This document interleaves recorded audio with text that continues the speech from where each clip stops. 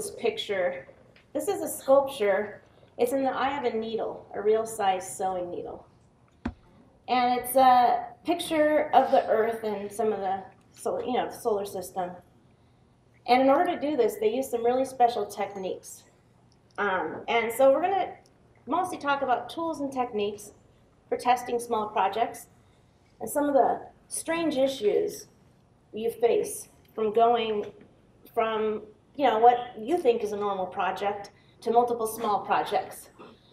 I currently work at a company called Silicon Publishing. We have employees in Buenos, Buenos Aires, Prague, Seattle, San Francisco, and one other place that I can't quite remember right now.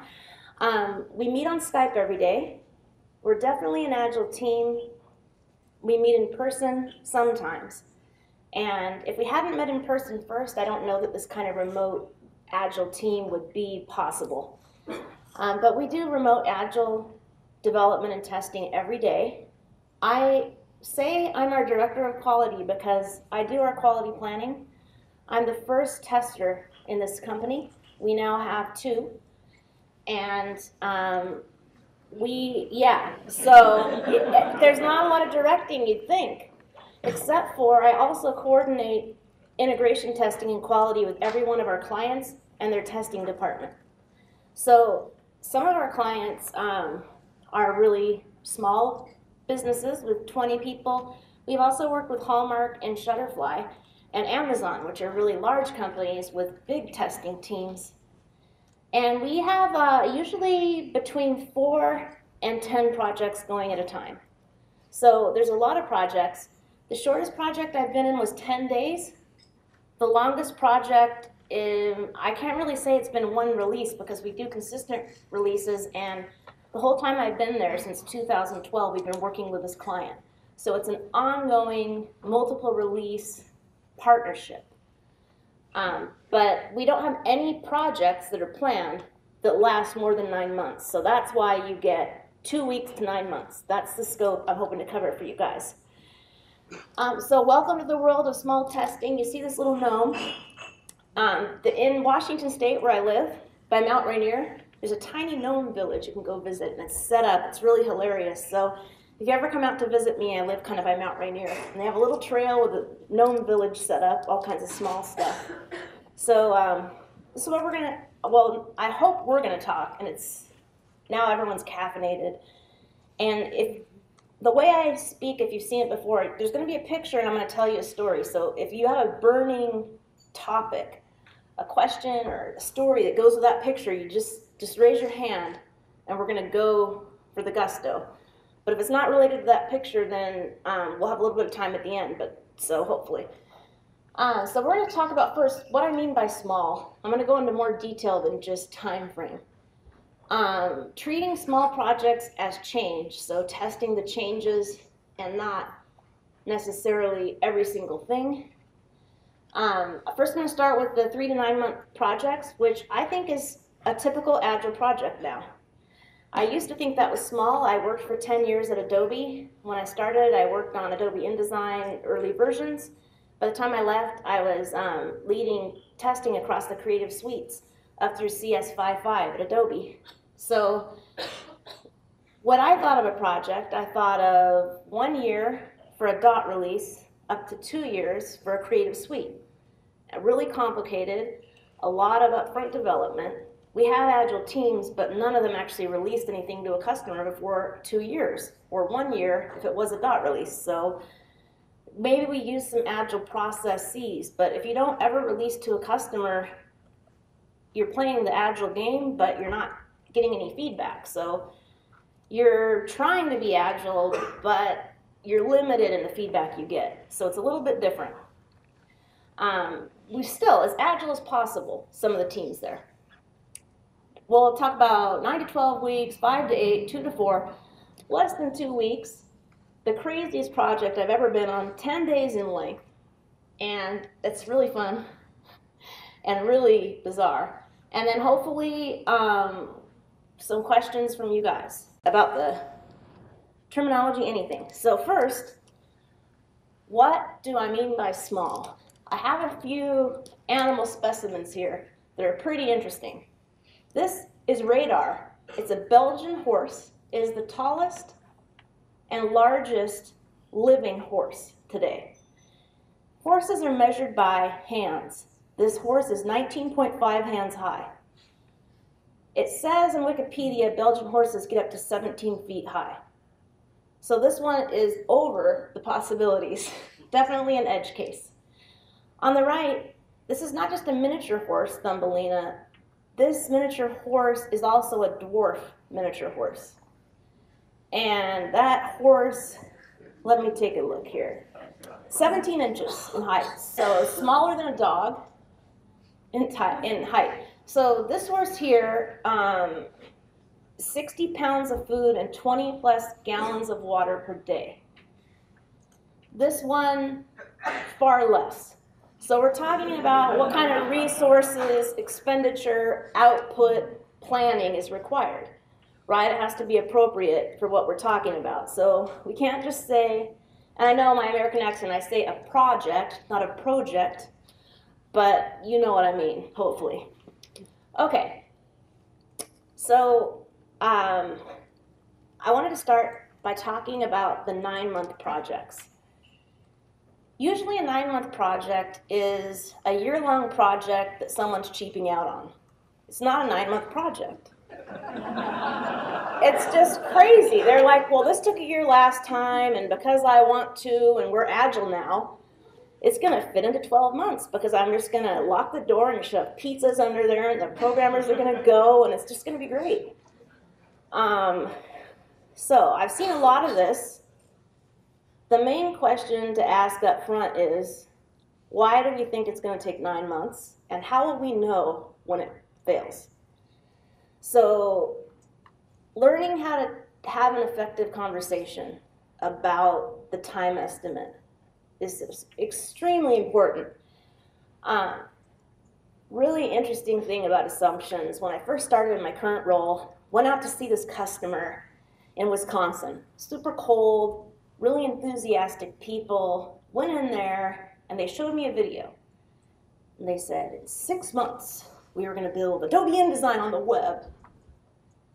And I just thought, okay, I was on that team. It took five years, a hundred developers, uh, several hundred people for the first version. Now they're on version eight. Five years, that people. You really think, you know, these 15 guys and me are going to do that in six months? But you can't say that. Um, so we got through their, this huge list of everything it was going to do. And they asked me, they said, well, what would you feel comfortable what kind of time frame would you feel comfortable committing to on this list? And me being new and not very bright about meeting with clients yet, I said never. Realistically, never. And uh, that was horrible because it did not, it was not an open ended question, it was not constructive, it was not instructive, and it was not helpful. It was negative, it was not understanding, and if they asked me that question today, I would say instead, what can we what kind of experience are you hoping to create that we can realistically do in this time frame? Let me explain what it took to make InDesign, being more involved with it. It might not be obvious. And let's talk about what we can do. Because just saying you're not going to help someone or even tell them, you know, just saying no is really uh, harmful to business relationships. So let's just say I haven't been to Wisconsin. The project went on for a while. It did not succeed.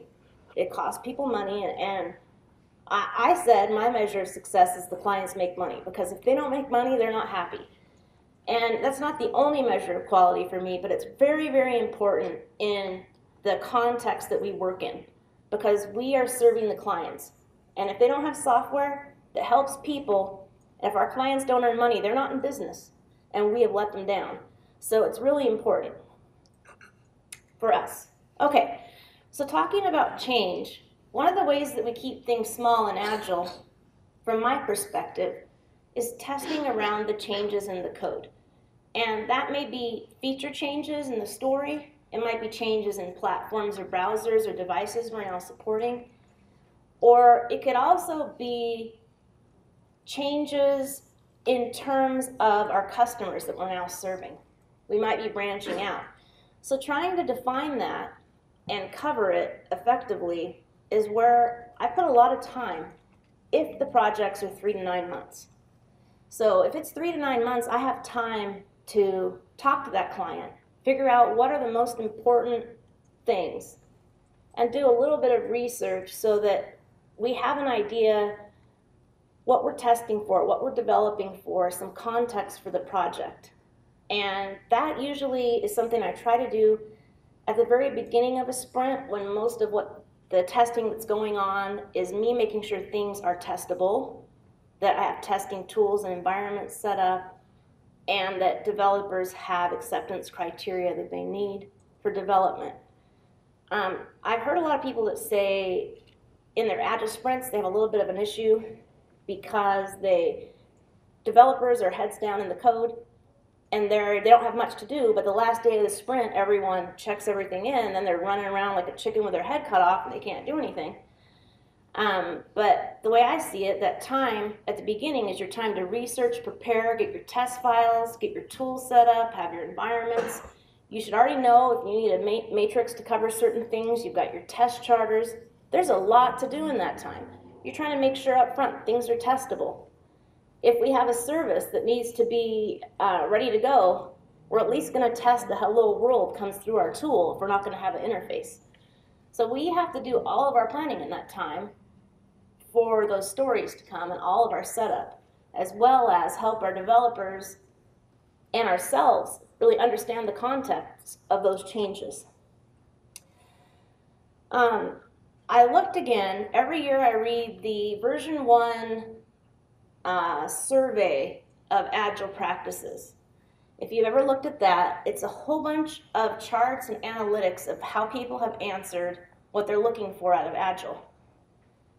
Every year, it seems a trend to me that people switch to Agile because they want everything faster. Overwhelmingly, that's not what they get. Overwhelmingly, they get more understanding about why it's not faster and more control over what they cut. So, there's a conversation that needs to happen here. Those of us who have the visibility and the feet on the ground should be having the conversation earlier that there is this trend that, that Agile doesn't make you necessarily instantly faster, but what it can do is it can help you prioritize and it can give you visibility into what's holding you back from going faster. And with time, it can help our team make the improvement together to make us deliver the right thing with higher quality. So, um, this is my favorite. See, this is the first, uh, well, wait, no, it's the fourth animal picture. I'm already behind in my metrics. So, this is a snail riding a turtle, which is one of my dorkiest favorite jokes as a kid, which is what does a snail say when riding on a turtle? It says, wee!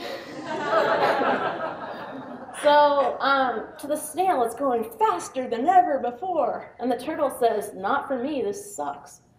Right? The turtle's now supposed to go faster and it's carrying another creature on its back. So I feel like the developers are kind of the turtle in the agile world, and the CEOs are like on the top of the bullwhip, like, woohoo, we're gonna go faster. We're just gonna lock the developers in. It's gonna be great. Um, and then they burn out their employees, and nobody's motivated, and it becomes Agile's fault. Uh, why is Agile abusing the developers? Developers are saying, well, this Agile's terrible. You know, people are just abusing us and treating us like we're not humans, and not calling us resources is really going to help. Yeah. Um, so it's kind of not been great. There's some negativity about some of the processes and tools that can really foster communication if they're used right.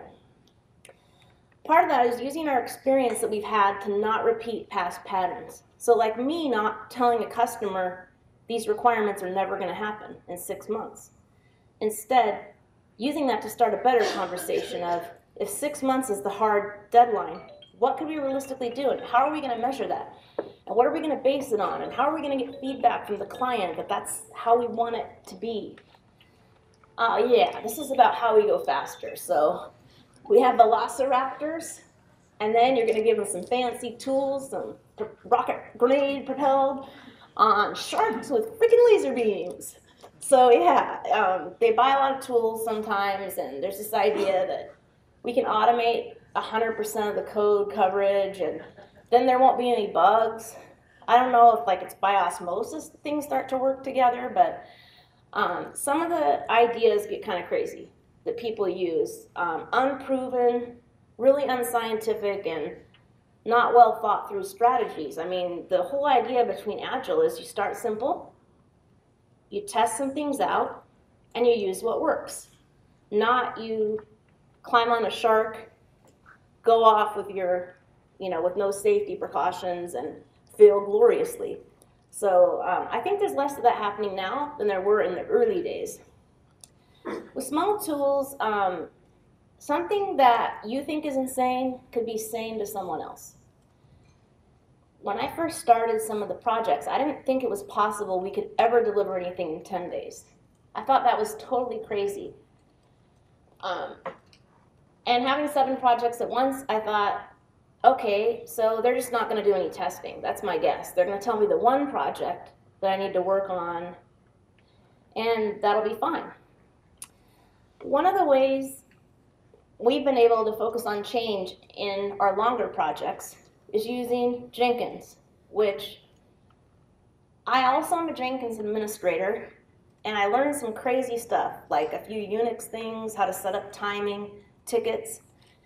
If you want to do short projects, you have to be a jack of all trades. So that means I may pull up a manual for a tool and learn how to make it work because there's one other developer who knows it really well, but I'm his backup. So uh, sometimes we need to learn tools like really quickly in order to make things happen. So we've started Jenkins with a couple jobs. Now we have it to where I can go in and test any build separately with the change, accept or reject it, and get it made into a master build with everything else.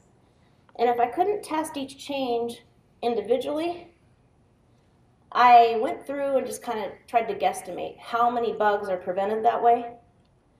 Um, I would say one out of three fixes I look at, I find several things that we need to revise before we integrate it. So a lot. I cannot tell you how many bugs I prevented, but far more than I could catch in the amount of time I have to get something out in three to nine months. So being able to test the fixes in isolation is the number one way that we ever have a project go out in nine months or less. And if you don't have continuous integration now, try to move toward it. Um, you can just get more builds They're stable. You can just automate your sanity test. We started out with no automation. Um, code was still being emailed in some cases. And now we have continuous integration in a few months. So it's um, the tools are really good. And there's people who are friendly, who know them. There's free books. I've been really surprised at how many tools are free or close to free that have helped us. Uh, also, I cannot be the single point of testing there's a lot of developers, um, myself and this other guy named Matt who knows a ton about the workflow. We're all the testers for the company. So if I go on vacation and there's seven projects and Matt's not available, a developer is going to have to make a decision. How risky is this? So our process is flexible. It has to be depending on the project. So if the project must go out and not integrating this fix is going to make the schedule slip, then it's possible at that point the client would prefer to have their team do the testing or have the bill delivered and tested on their side before everything's looked at. That kind of flexibility is a business choice um, and not always my choice. I'll make a recommendation based on where we are. So the only secret I know to go faster is the KISS acronym, which means uh, keep it simple squirrels. I think it means that. Um, and plus, I really like the picture because I think the squirrels are kind of cute. Um, scope creep is a huge problem, especially in anything over six months. So knowing your stories, where they are, if they're growing, are we taking something out? That kind of thing is important. And then also doing uh, your sprint reviews. When we first started when I first started working at the company, sprint reviews were not something uh, regular, you could say. They would happen if something went wrong. The point of doing your sprint review is to prevent things from going wrong. I had a great talk um, before I started speaking today. It's my first conference that I've been able to go speak at for a year. Because I had a problem, a medical issue that's been totally solved. And I just said, I will never stop. I will never skip a physical again. I could have saved myself six months of pain and agony by having my blood work done on time. I think having your sprint reviews and retrospectives can be the same sort of thing.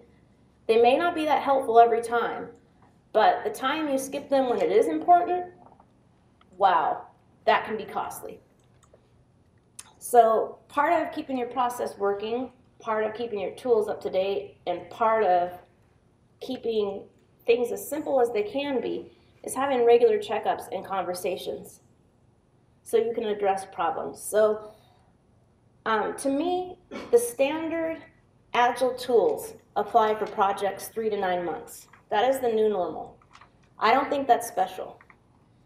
If you're having a problem delivering in that time, it's probably because the normal things we already know to do for Agile aren't in place, aren't being done yet, or you simply are having trouble keeping it simple, keeping the scope under control, or possibly your business conversations aren't going well. So if, if, if six to nine months um, is not enough to deliver a project, there's analytics that can help, but I'm pretty sure everyone in the company knows why.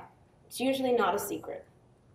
Um, however, 9 to 12 weeks is, uh, I think, a little bit easier than trying to take a one year project and making it go into nine months. Because nobody thinks you can do a full scale project that's huge in that amount of time. Plus, you can break it into segments like uh, how many sprints is it, and you, you have some checkpoints for where you want to be at that time. But it's going to be a wild ride. That's why I used a, a baby fawn. You are really vulnerable in this space, um, especially when you start. You need to make sure up front, in, if you're doing a 9 to 12 week project, that you're not going to be blocked. So something really simple like not having a server set up or not your integration not working or delaying testing by a few weeks can throw the whole project off the rails. The newer the project is, the more critical it is that you aren't blocked. You absolutely have to get off to a good start and you have to be very vigilant in the first one third of the project. Uh, what I've learned is we can tell really quick what's going to happen with a project of this length. If it's going to make it, we will be one third of the way there, one third of the time done. And if we're not, corrective action needs to happen then. So um, the Agile tools, especially Pivotal Tracker is one tool we use. I love that tool. Um, any tool you use, now we need that because we're a distributed team, not in one location. That tool is basically a, a Kanban board, swim lanes, online we have to have it to where everyone can use it because we're not in one location. Now, if you have your sticky notes up there and you can all see it, great. Um, that didn't work for us because we're just not in one place. And we all are on Skype all day, so we're still talking uh, amongst each other. The, uh, yeah, Pivotal Tracker will tell us how the stories are going, what percentage of them are passing, without us doing a lot of work. So that's what's helpful. The five to eight week projects um, are really cute because you're talking about one to two months. Super small, you're going to be able to look at those stories easily, assign them out. You can kind of tell what the tasks are. I notice in Agile uh, training, a lot of times you have a project that's really small. So it'll look familiar if you've taken training because you never see a big project. You couldn't possibly get that in a training course. But then what happens is all of a sudden your project's out of control. Um, it's just like a crazy kitten and all the furniture is destroyed. So um, keeping a close eye on it, But another thing for us is being very clear about the bugs. What is it that's happening? We don't have time to go back and forth on those. So we use Jing or Snagit, which they're free recording tools. I found in working remote that and working with clients, a video is worth any number of words. A video is, works for multiple lo, uh, locations, it works for multiple languages, it works for people who do things differently. I remember so many times I've sent a bug to somebody that I believe the steps are perfect and they can't reproduce it. They're unknowingly waiting for everything to finish in a race condition, or they are um, going through a different path that they know works because in their mind, that's how you do that thing. And, and maybe they read my words to tell them, click here, go to this area. And they, in their mind, they say, oh, I know another way. I use the keyboard shortcut, that worked. So a lot of times the confusion is just this unintentional gap between them reading and acting. And part of it is memory related too. It's uh, I've learned that you can never assume somebody is intentionally not reproducing a bug. Nobody would do that on purpose. So a lot of times, if you think you're communicating clearly, and they think they're reading and performing it clearly, it can be, if the video doesn't work, the next thing our team does is they will say, can we get on video conference and can I watch you do that while we're on the phone? So what are you gonna do if they, if the bug happens every time for you and not for them? It can just be the magic of the developer's machine. Um, they think there's magic in my machine, and I kind of have the belief there may be some magic in their machine to make these things more or less likely to happen. One hilarious thing, um, I wrote down that word she used, uh, codswallop. So when I typed that in, my spell check recommended code wallop. I thought how perfect for a testing conference. So yeah, um, if you're faced with any any cod swallop, you should definitely go wallop the code. Give it a test. so uh, yeah, less uh, listening and words, more watching, interaction, and doing is what's going to make a short project happen. Um, there's an element that's really hard for me to describe to uh, other people of testing where you refuse to be blocked. I ran into a situation this uh, weekend. I helped my sister move. She had this king size bed with a huge headboard, and it had been moved so many times. I mean, it just, um, we got to this point where we could not get these screws out. And uh, her husband, my brother in law, is this construction working guy. He's got his power tools in there, just could not get the screws out. And they took off, and I said, okay, I'm going to fix this problem. I went in there with a flashlight, found out they had been using a Phillips five head screwdriver on a four point square bolt. And they were seriously the yay long. And uh, so someone went and bought a, a few of them were stripped beyond belief. Well, we found a screwdriver, got most of them out. There's one that's totally stripped. I mean, the whole, it just, nothing left. Someone brought a device that you drill a hole and you pull out the screw. And I get half the things out, and one person helping me says, You can't undo the rest of those screws. The headboard's going to fall on you. It's a terrible idea. Step back here. You're about to get injured. And I said, I don't want to get injured here. Let's get some people. And, um, well, I got some other people to stand in there. We tried the tool to get the last one out, and it wasn't long enough. So they're counting on us. The truck's by the hour. They got to have a bed to sleep on tonight. We tried the tool. We tried the drill. I'm like, well, what if we take the drill bit and we just drill holes all the way around that thing like the cartoon with the coyote and he gets the sawn and the, the woodpecker comes out of the ceiling and runs away, you know, like that? No, nobody liked that idea. So we got a crowbar. We got between the two, and the side that had the wood that wasn't that important and wasn't visible, we pried that thing out to the best of our ability, and asked the guy to bring a sawzall in, and we sawed through that last one. Long story short, we lost one screw worth 10 cents. The bed survived. Everyone, no one was injured. There was minor bruises. I mean, to be fair, my grip strength is still not good uh, after trying to take those strip screws out. But the good news is we were not blocked. There were four points where different people gave up. You have to have one person who's stubborn. If you are not a stubborn tester, you cannot work on short projects effectively. And I don't mean stubborn like rude to people, ridiculous. I mean persistent. I mean willing to work around and try seven things. If thing one doesn't work, what next? Who else are you going to ask? Who, who has expertise that you don't have? Um, one thing I've noticed about security, I know two things about security, and they're the most important things. I know how to look for the basics, and I know when I'm out of my realm.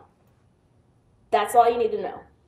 How are you going to test for the basics and consider it? And how do you know when you need someone else? Those are the two most important things, I think, in getting a short project out. That's it. And also just having the will to continue and knowing the cost if you don't. Sometimes, who picked five to eight weeks? Does it really need to be eight weeks or is 10 weeks okay? Well, in our case, uh, we have this one client that they make yearbook software. If the kids graduate and they don't have their rings and they don't have their yearbook, that's a big issue, really big issue. Okay, my favorite, the cutest of all, is a real freak of nature, two to four weeks. Tiniest of all monkeys, size of a finger, I think is very cute. I don't even know what kind of monkey that is, except a really weird and very cute small one.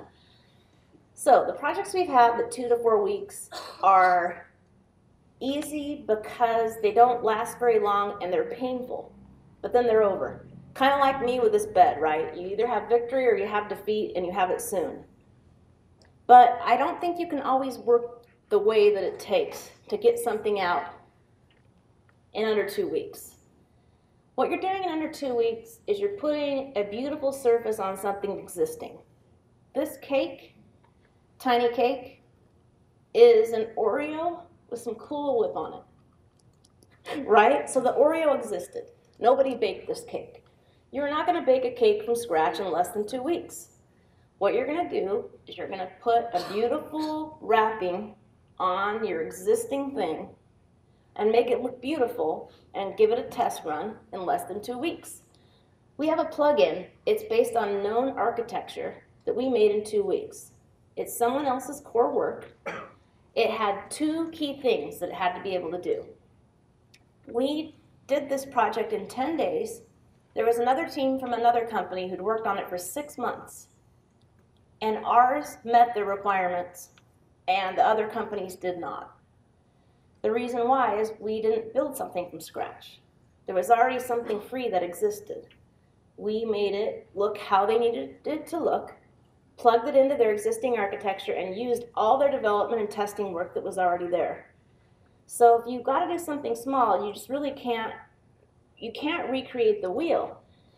Um, there's a couple other things I'll show you that are small. I have never worked on anything under two weeks that was a real project that needed new architecture from start to finish. It wasn't something that had been done before that actually happened.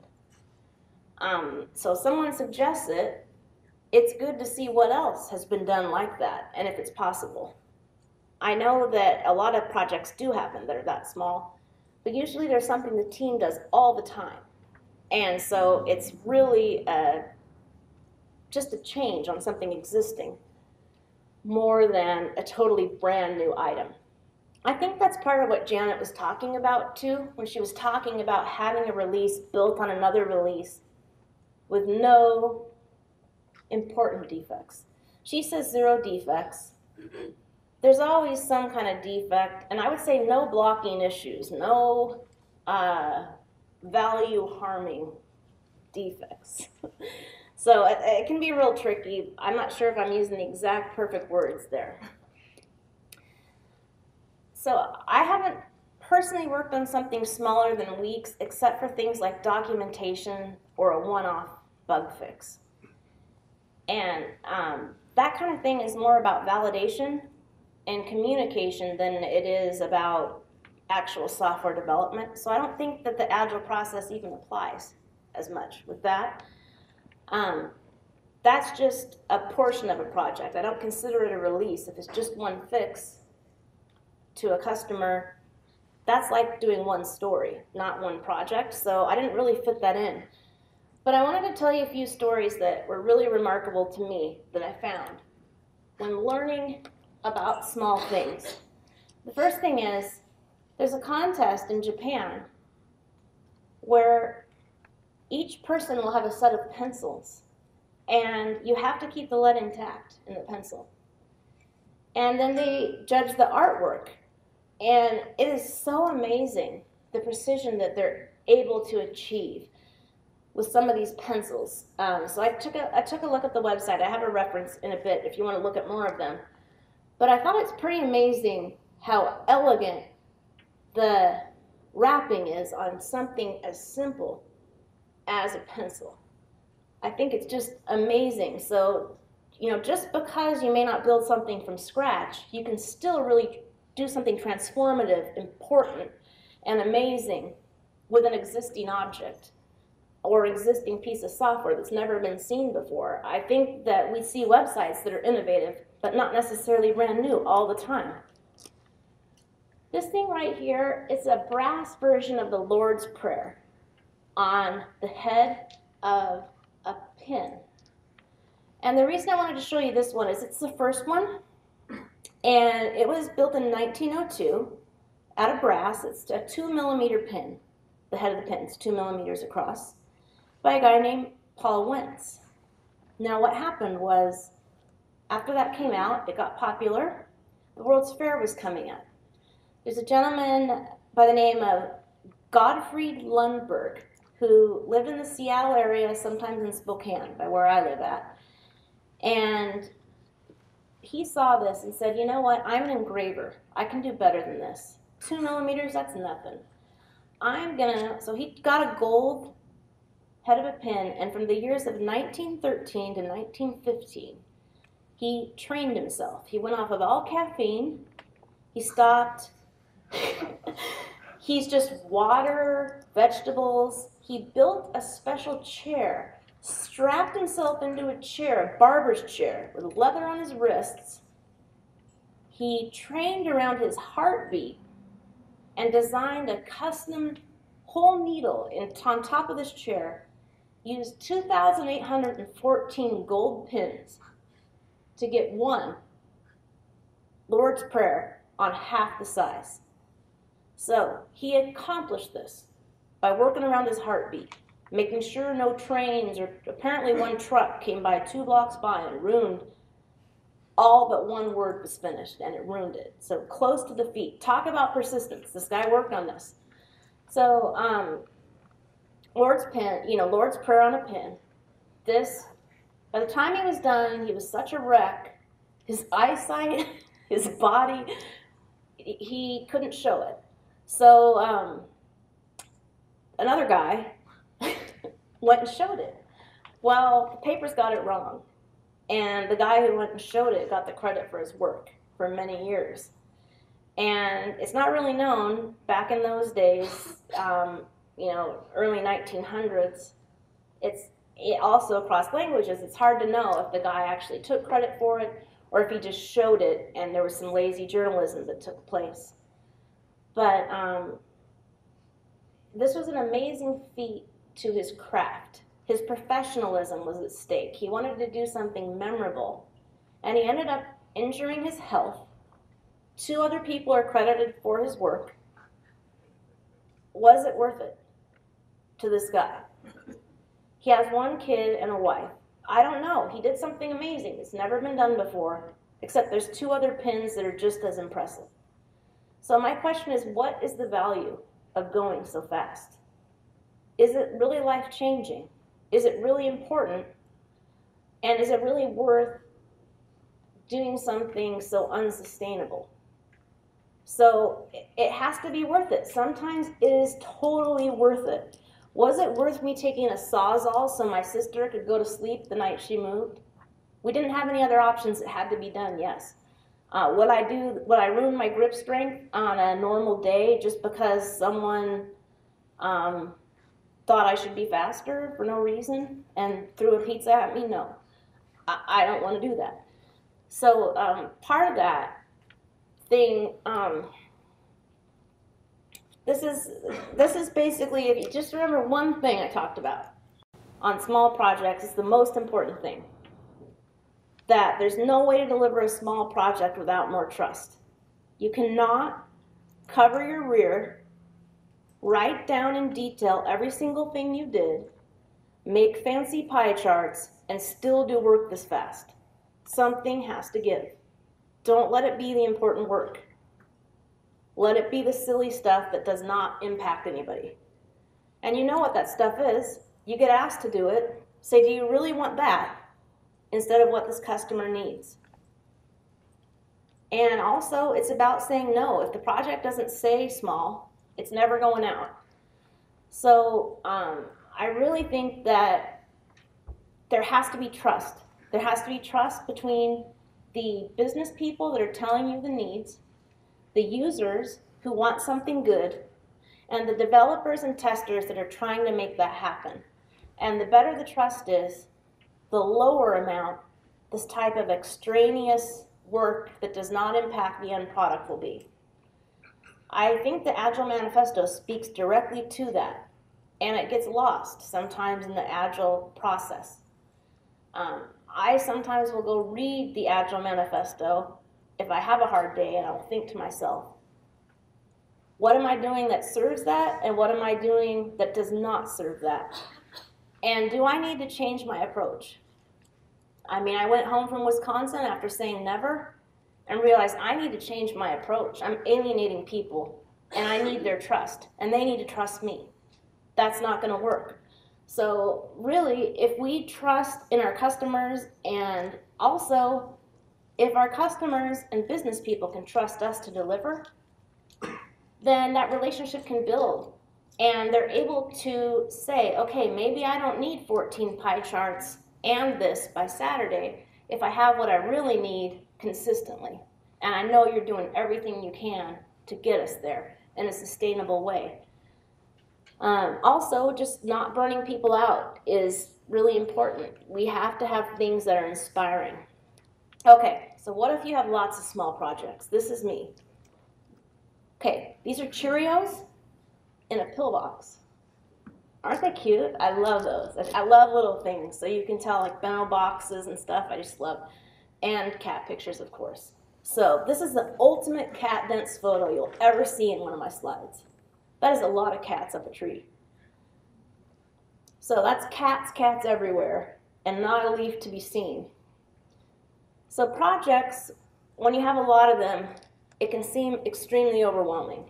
This, this is the most depressing snowman ever. and I'm sorry if it's shocking, but I saw it one day and just started cracking up because this is crazy. Um, I read a book last night. I have this Kindle book, and I put this on my Twitter, which my Twitter is like half work, half personal. I don't really separate the two. Like I'm trying to be a good person in both. So, um, but LinkedIn for work only. But Anyways, I read this book, and the main character, it's a fantasy book, says uh, he walked into the small cottage and casually tossed a cord of wood into the fireplace. And the small fire gently warmed the space. Well, if any of you, like me, had a stove and wood growing up, which here in Canada I'm sure many of you have, a cord of wood is four foot by four foot by eight feet. So for anyone to casually toss a cord of wood would be a heroic feat, to say the least. And the whole cottage would have burned down because it'd be filled to the roof with wood. So thinking about that, I thought, well, the editor read it. Cord of wood is a valid measure. The spelling check passed. The grammar passed. The problem is no business context. This makes no sense at all. I mean, he's supposed to be having this nice moment, and I'm thinking he just burned down his whole cottage. and it's silly. So, um, that's a really good example of what Janet was talking about earlier, where the value is missing, the context is missing. Yeah, maybe we passed the unit test. Maybe, yeah, but it makes no sense. And we've now embarrassed ourselves and show we have no expertise. So, um, there is a secret to feeling less overwhelmed when you have multiple projects. And this is my favorite quote. I've used it probably like five different times, and I just keep coming back to it. That all we have to decide is what to do with the time that is given to us. So it's up to us as members of our quality team, our team making a quality product, hopefully, not just the quality team, but the whole team, to decide what the priorities are. I do not slice time in smaller than half a day. So if I have seven projects, maybe your update's going to come on Tuesday morning, or maybe it's not going to be till Thursday evening because it's not the top priority project. But I'm not going to tell you that you can have them all on Monday night because I can't be productive that way. I just cannot. I, I know there's people that are smarter than I am, and maybe they have a way to do it. But I have to work on a set of priorities, and if I'm switching, I can do start something in the morning, go have lunch, come back, and really focus and do great work for that evening. But I can't do seven projects in one day. Um, I have Matt. That's awesome. Now we have four, sometimes even five, because a developer might do one updates in a day. That's pretty amazing. You know, we don't have to treat people poorly to get out multiple projects at a time. It's possible to do it in a way that's not destructive and in a way that has value, but not if one person is trying to do eight projects in one day. That's a horrible experience and it's unsustainable. So I guess what I'm trying to share with you is to protect your time. It's really precious. And if you're using it and you feel like you're part of something great, it's not draining, it's energizing and it's inspiring. And you feel like you are happy to be part of the team instead of really drained by it. So, I love this picture, partly because it reminds me of my crazed shelter cat. I have a really weird special needs cat, and she bites her own tail when she's bored. So, I mean, I'm kind of like that. I need to always know what I'm doing next, or I can get kind of wacky. So, what I love about this picture is just the tongue, the colorful tongue. So, um, you can enjoy multiple projects if you enjoy the variety of it. If you can see what's common about them, what's different about them, you can really enjoy the variety. And also, I love doing exploratory testing. It's what I value the most because honestly, it's where I feel I'm talented. So if you have one area where you're really talented, like you make amazing um, baseline performance tests, and when they run, you feel great. Or maybe you're the person that you can come up with a way to diff two files and find out what's worth looking at. Or maybe you just use a tool to assist you and it's super clever. Whatever it is that gives you that boost that you're really good at, schedule that for when you need it to energize yourself. So I have my charters and I know on that project, now I use charter really loosely and I'm doing a workshop tomorrow and so um, I hope some of you are going to come. It's going to be cool. So it's about applying exploratory testing. But basically, a charter is just a directive that guides a time box of testing. So, um, you know, it's a short blurb about what you're going to test around. But sometimes I'll also throw in cases that I want to be sure to cover because I've either agreed to it or it's something I got to get out of my head onto paper. I'm going to forget it. That's what brings me joy, though. So you have to find that one thing in testing that you love and make sure you insert that fun into your day, or you're not going to be able to continue to do this testing. Okay. Oh, dear. Okay. I know a lot of stories I told. Okay. I have one story to tell I've never told to a crowd of people before. Um, I went to a small conference about writers in software testing and um, Elizabeth Hendrickson was there, and some people that I am friends with now, Lisa Crispin was there. And it was around the end of my time at Adobe. And I um, talked to Chris McMahon, there who was one of the attendees, and I said, you know, I just don't think testing's for me anymore. I, I just don't like what they're doing to it. You know, I don't want to make another pie chart. I don't want to write down another 15 minutes I spent on some stupid thing. This is just a waste. Why am I doing this? You know, I feel like I just keep working more and more and more, and you know, the people that are directing it know less and less and won't listen. I don't know why I'm doing it. And um, Chris said, it's not like that everywhere. You have no idea what testing is like anywhere else. You've been in the same company for 10 years. What are you doing? What are you doing? So I thought about that. I thought, what am I doing? Well, I've had four different jobs. I worked on a bunch of different teams. Okay, I've learned what I can learn here. I need to try something else. That's all it is. So if you're having a hard time with what you're testing, you might be in the wrong size company. You might be on the wrong team. You might have the wrong manager, or it may just be the time in your life where that job is a good fit is no longer a match. Um, it was really scary my last day of leaving work after working a whole decade at the same company Sort of like you know that route in your mind where you drive. I was unemployed for five days. It wasn't that terrifying of the five days. and um, when I went, the first interview I went to, one of the questions I failed on is someone asked me who I would consult about my testing. And I'm lucky they followed up. They called me and they said, Why didn't you mention talking to a business analyst? I said, Well, I've never met one. So someone came in and said, Hi, I'm John. I'm a business analyst. This is what I do for my work. And suddenly, testing was interesting to me again. I had a different team of people. I'd just been in a team of testers that were not interacting with developers, they were not interacting with business people. There's such a ginormous world of testing that I've just begun. Um, it was a dream of mine to go to a place that never had a tester before and see if I could make testing a concept that would happen. And it's not perfect, but it's fun for me because I'm doing something new and I'm learning from it. So if testing isn't fun, there's a lot of testing out there that needs to be done, that needs people that are enthused about it. And, and if we get burnt out, we can't be our best, and it's not serving anybody. So obstacles to small projects. This is my avoid painful PMS. These are problems you cannot let get in your way. Politics, precedents, and posturing. That is, well, it's not done that way. We've never done it that way. Well, I'm the boss here, and well, I'm the tester, and I'm in charge of quality. All those fall into the first one. They're all unimportant. Micromanaging meetings and metrics. The evil ends. Oh, we got to go in a meeting and talk about this five times, and those are taking away time from doing stuff. Status, structure, and silence.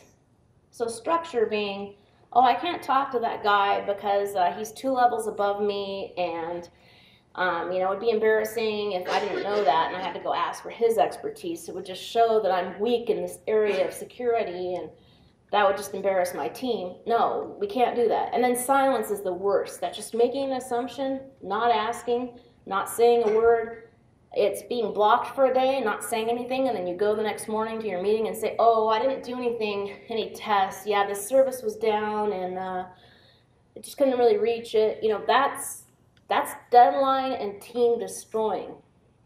So, we want to get around these obstacles by courage and trust. That's it. It's that simple. Courage and trust. We have to have those. So, if these obstacles get in the way, we're going to just persistently face them, respectfully face them, and realize these are difficult changes that take time, but they're worth they're worth it. And uh, it may be painful. That's the picture. See, perilous PMS. If someone's hurting, we're going to give them time to recover, and we're also going to be sensitive in this, not just force change on people beyond their ability to tolerate it. So that's another thing is um, using all of our senses to see, you know, is there something in this team? I'm going to push someone over the edge by mentioning this. Uh, we have to take care of the whole team and not just the project. Oh, when it must be small. Sometimes on the really small projects, you just have to hold on. Those are the times when it's abnormally cold weather. There's an abnormally strange situation, like yesterday when I came into town. It poured down rain for 10 minutes. It got all the clothes on the top of my backpack wet, and I had to blow dry my pants because they were wet up to the knees. It only rained maybe like 15 minutes, but it happened to be when I was walking from the train station, which I thought was hilarious as a tester because I break ATMs and stuff all the time. I accidentally broke the machine on the SkyTrain by race condition, and it just so funny. Um, but so I know to expect this. Um, but I'm from Seattle, not a big deal. Oh, this guy. Uh, I have his name written down. It's two W's, like Willard Wiggins or something. This guy, uh, Snow White, all the dwarves, Evil Witch, in the Eye of a Needle. You saw that universe one. That was pretty cool, right? No, he's upped his game. He's got Elvis on the head of a pin with the sequin jumpsuit and the microphone and all seven dwarves in the Eye of a Needle now. So he's uh, got to the point where he has fancy tools. Uh, I'm sure he looks real crazy coming out with these zoomed in eyes on the goggles and he does meditation breathing to get all that stuff going. Okay, so this is the main thing I've learned from Agile projects to not despair, besides the time. So I ask, what can I test today so I'm ready for tomorrow? And that means if there's something shipping tomorrow, I better darn well test it today. But I try not to think in huge chunks. I can't think about the fact that this month I have four projects that go out. I need to think about it smaller because I'm going to get there as long as I do this, right? What am I going to test today to make sure it's there for me tomorrow? It's not, not complicated. Um, because if I'm not in a good place to do my testing, I'm not being effective. Okay, a few references. Uh, they have these slides too. I added a couple things, but, um, but they're going to be online. So the artist who did those pencil carvings I showed, the particular pin I showed is by A. Schiller, but you heard about two people who went blind and hurt themselves competing. We don't want to be those. We want to be the one person who did it first, did it best. And then uh, Willard Wigan is the needle, needle microsculpture. And then uh, I heard a quote on Twitter yesterday that I just loved. It said, metrics are for fools, analytics are for everyone else. I think that's a little harsh, but still funny. Um, so I think that people do bad things with data. Data is never evil. Data abuse is evil. Data itself is useful. You should not abuse data and do bad things with it. You should just use it nicely to help yourself and your team do better. Um, anyways, 44% cat density of the, the highest slide. And then 31% uh, of the animals shown were cats today, just so you know in case anyone's keeping track. all right, um, so that's all I brought to share with you guys, but I'm hoping that you have some questions, answers, or some amazing stories that you want to share that can uh, help. So anybody questions about anything mentioned or want to share a story? really tough crowd. Uh, anybody want to uh, say something kindly about metrics that you like, since I kind of bashed them a little bit? Not really, not so much, okay. Um, hmm. question over here. Yeah. Uh, you mentioned, I think you mentioned uh, testing uh, fixes in isolation versus uh, testing all jumbled up. Because that's generally the way we do them. We jumble them all up and then test them. Well, it appears I was unclear. Awesome. So the question was, I mentioned testing fixes in isolation versus all jumbled up together. And it, I wasn't clear at all because what we do is both. First, we test it in isolation. And then, only when it passes and we feel it's fixed without side effects, then we integrate it. And I'm able to make that build myself. We have Jenkins set up, so once I accept it, little script runs, I have my build, it's numbered so I know what's in it, I get my notes, I test it, and if it passes, then I run other tests around it, right? I'm not gonna run all the regression on the small one with the fix because I can't test the interactions there. I'm only testing the fix and the area around it. I wanna wait until I have all those fixes to run my regression test automation.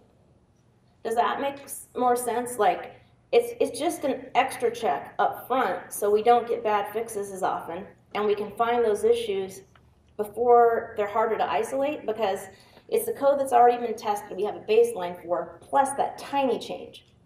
So it's like feeding a baby little bites instead of just like the fire hose approach. Um, uh, you know, eventually the customers get the fire hose. that was a terrible analogy or metaphor. Sorry about that. Oh dear. Yeah, eventually we do have to test everything together. It's a really good point. It can't be avoided because uh, we got integration issues. If we have environmental problems, we could have regressions. So yeah, we aren't avoiding it. We're just preventing a lot of backtracking and isolation with bad fixes. Um, and it's also, we have this new way we just did in the last year, where from our test environment, we can go back to any build we want. So I can isolate where issues were introduced. And that way I can really, if it's important, I can, in the morning, have someone in a different time zone start fixing something before they otherwise would have. So that's another use for that. Um, does anyone else have other experiences with testing isolated fixes that they could share?